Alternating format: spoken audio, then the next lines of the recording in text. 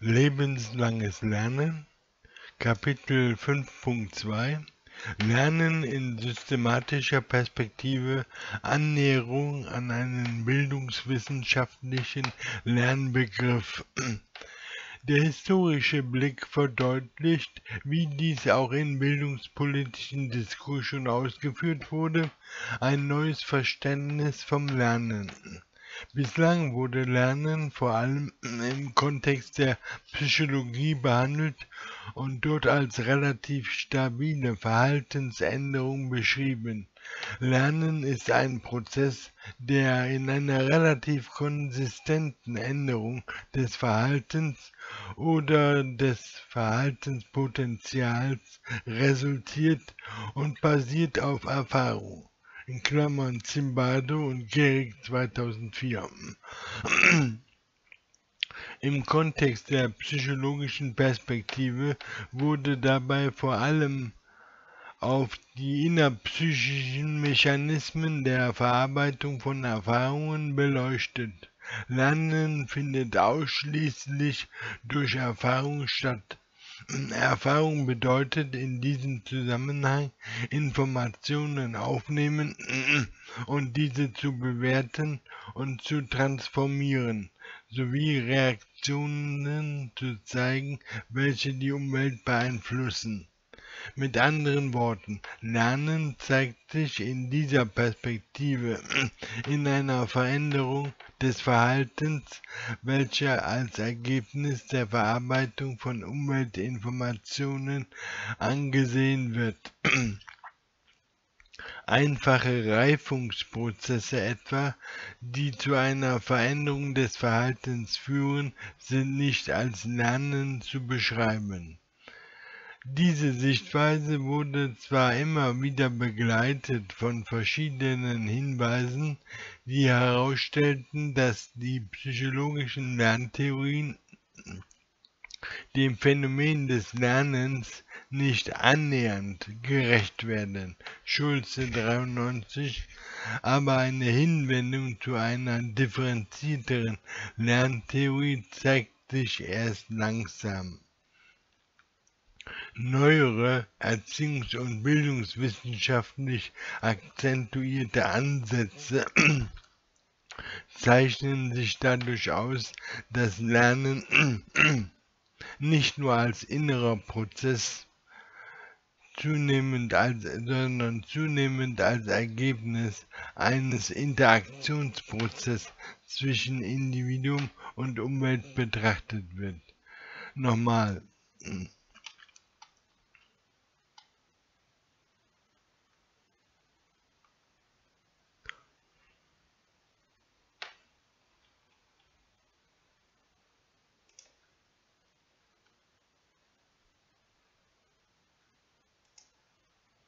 Wo habe ich denn das? Neuere erziehungs- und bildungswissenschaftlich akzentuierte Ansätze zeichnen sich dadurch aus, dass Lernen nicht nur als innerer Prozess, sondern zunehmend als Ergebnis eines Interaktionsprozesses zwischen Individuum und Umwelt betrachtet wird. Neben der individuellen Verarbeitung von Informationen wird damit zunehmend auch die Frage gestellt, welche Erfahrungen das Subjekt machen kann. Damit wird der Welt damit wird der Welt verstanden als all das, womit sich ein Mensch beschäftigen kann, von der natürlichen Umwelt über die soziale Welt bis hin zur inneren Welt der eigenen Gedanken und Gefühle besondere Aufmerksamkeit gewidmet.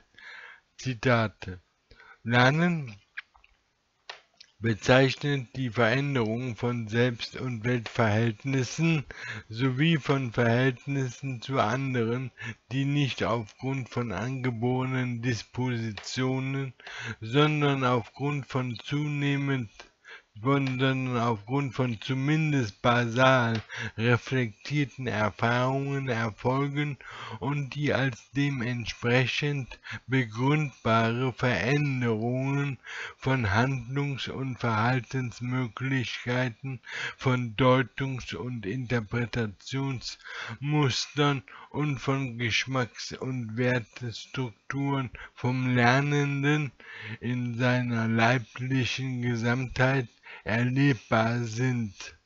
Kurz gesagt, Lernen ist die erfahrungsreflexive, auf dem Lernenden sich auswirkende Gewinnung von spezifischem Wissen und Können. Kurz gesagt, Lernen ist die erfahrungsreflexive, auf den Lernenden sich auswirkende Gewinnung von spezifischem Wissen und Können. Explizit wird das wechselseitige Verhältnis von Individuum und Umwelt auch bei Ilneris angesprochen, wenn er eine innere und eine äußere Seite des Lernens unterscheidet.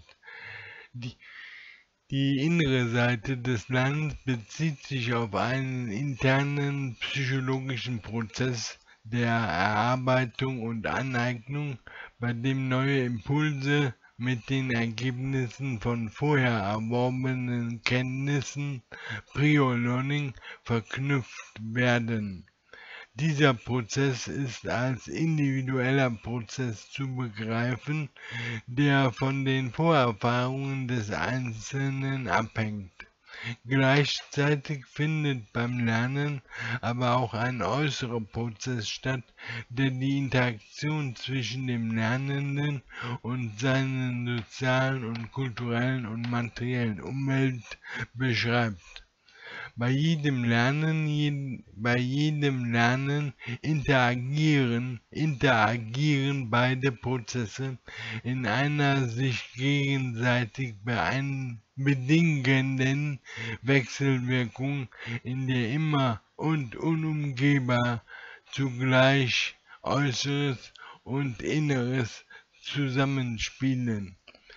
Zitat das Wesentliche für das Verständnis von Lernen ist meines Erachtens, dass jede Art von Lernen zwei ganz verschiedene Prozesse umfasst, die beide aktiviert werden müssen, damit wir etwas lernen können.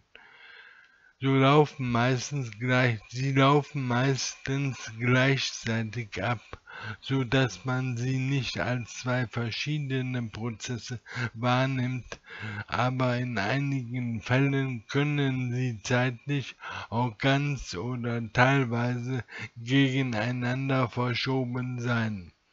Der eine Prozess ist die Interaktion zwischen dem Individuum und seiner Umgebung. Der zweite Prozess ist die psychische Verarbeitung und Aneignung der Impulse und Einwirkungen, welche die Interaktion mit sich bringt.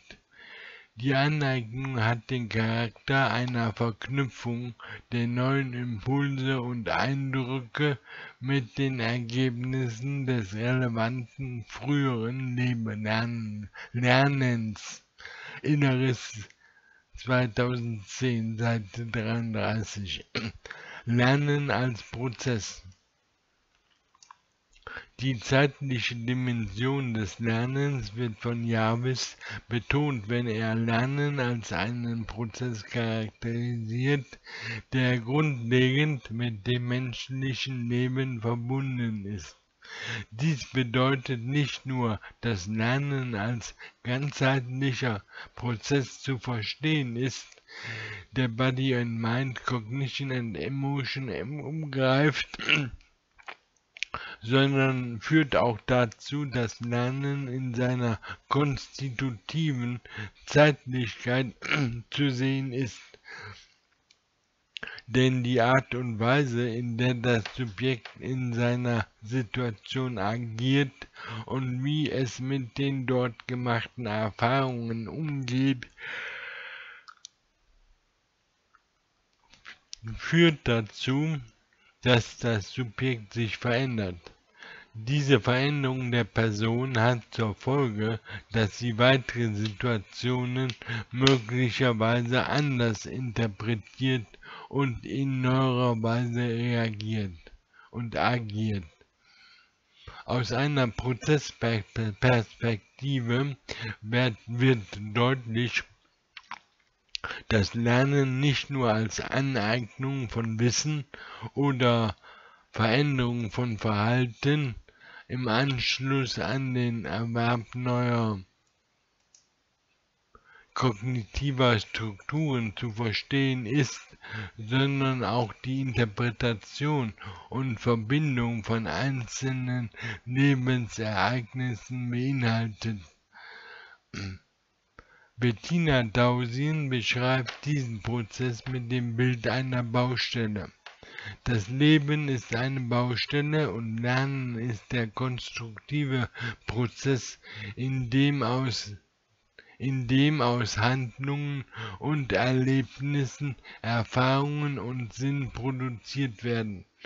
Welcher biografische Sinn welche Wissenskonfigurationen entstehen, hängt zum einen von dem Material und den Werkzeugen ab, die auf der jeweiligen Baustelle verfügbar sind, zum anderen von dem Möglichkeitsraum für konkretes Handlung, Handeln, zum anderen von dem Möglichkeitsraum für konkretes Handeln, für erstmaliges Erproben und immer wieder neues Versuchen für Fehler, Abänderungen und neuen Entwürfen und schließlich auch von dem kommunikativen Raum für individuelles und gemeinsames Reflektieren. Soweit Dausin 2008. Sie veranschaulicht damit, dass die Lebensgeschichte bestimmte Handlungen und Lernvorgänge disponiert und damit den prinzipiell möglichen Handlungsspielraum auch einschränkt. Umgekehrt bedeutet dies allerdings nicht, dass Lebensgeschichten allein aus Ergebnis von Lernen anzusehen ist. Vielmehr wirkt sie sich auch auf weitere Lernprozesse aus. Die Entwicklung biografischen Wissens ist somit als Zusammenspiel von Individualität und und Sozialität von Besonderheit und Allgemeinheit zu begreifen. Dieses Wechselspiel wird gestaltet durch die Fähigkeit der Subjekte, einzelne Erlebnisse und Erfahrungen in einen Zusammenhang zu bringen und sich reflexiv auf die eigene Lebensgeschichte zu beziehen, eigene Lernprozesse wahrzunehmen und zu bewerten. Dieser Gedanke der Erzeugung von Handlungen, von Handeln und Bedeutungskonstruktionen durch Biografie wird auch unter dem Begriff der Biografizität gefasst. Damit aber lassen sich folgende Momente eines bildungswissenschaftlichen Lernbegriffs herausstellen. Erstens, während die psychologische Betrachtung Lernen vor allem als Prozess der Informationsverarbeitung untersucht, bezieht die bildungswissenschaftliche Analyse die Inhalte des Lernens ein. Die Inhaltsdimension bezieht sich darauf, dass beim Lernen Wissen, Fertigkeiten und Verständnis entwickelt werden. Zweitens, Lernen ist zu verstehen als Ergebnis der interaktiven Auseinandersetzung des Subjekts mit seiner Umwelt. Damit gilt Lernen als individuelle Handlung. Diese Handlung wird von einem Subjekt vollzogen und ist abhängig von seinen Interessen, Motiven, Vorlieben ebenso wie von seinen Fähigkeiten und Kompetenzen. Insofern ist das Lernen nicht nur der Erwerb neuer Erfahrungen, sondern selber auch abhängig von den Erfahrungen, die der Einzelne im Laufe seiner bisherigen Biografie gemacht und zu Erfahrungs- und Deutungsmuster bzw. zu Kompetenzen verarbeitet hat. Die bisherigen Lebens- und Lernmöglichkeiten bilden die Grundlage für die Gewinnung neuen Wissens und Könnens und damit zugleich auch für neue Lernhandlungen und für die Auseinandersetzung mit weiteren Erfahrungen. Drittens, Lernen impliziert nicht nur die Aneignung neuen Wissens und Könnens, sondern auch ein Umlernen oder Verlernen. Dabei können Lernprozesse eine unterschiedliche Reichweite haben. Sie können zustehende, sie können bestehende Sinnstrukturen erweitern, neue Facetten hinzufügen und und andere umorganisieren oder zurückbauen. In diesem weiteren Verständnis beinhaltet Lernen Erkenntnis, Reflexion und Reflexivität und zeichnet sich durch die Transformation of Understanding, Identity and Agency aus. In der gegenwärtigen Diskussion befinden sich auch unterschiedliche Beschreibungen für Lernprozesse, durch die die biografische Erfahrungsstruktur bzw. das Selbst- und Weltverständnis selbst verändert wird. Mesirov spricht von transformativem Lernen, Marotzki von Bildung und Allheit von transitorischen Lernprozessen. Die für das Lernen konstitutive Relation von Lernen und Leben verweist darauf, dass Lernen nicht allein als kognitiver Prozess zu sehen ist, sondern als ganzheitlicher sozialer Prozess betrachtet werden muss. Denn Leben ist nicht einfach nur Denken, sondern auch Fühlen, Wollen und Handeln.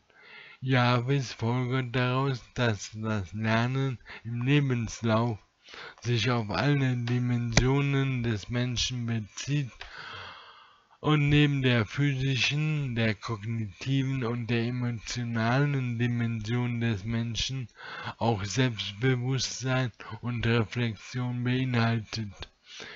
Er schlägt, er schlägt daher die folgende Definition vor. Nicht zuletzt ist zu betonen, dass Lernen immer innerhalb sozialer Praxen stattfindet. Zu diesen sozialer, zu dieser sozialen Praxis gehören nicht nur die materiellen Voraussetzungen und sozialen wie auch institutionellen Möglichkeiten und Begrenzungen, sondern auch die Aktivitäten der Beteiligten einschließlich der sozial geteilten Selbstverständlichkeiten und Deutungen, die das Handeln der Beteiligten leiten.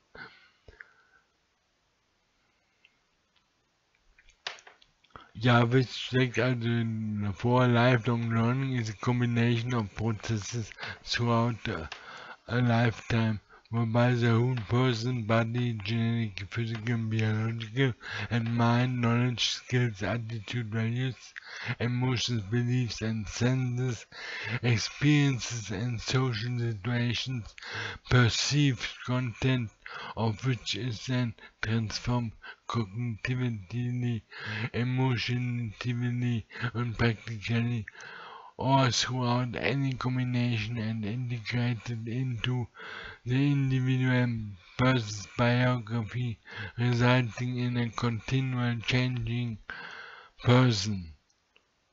Ja, sehr schön und sehr lang. Ja, Ende Kapitel 5.2.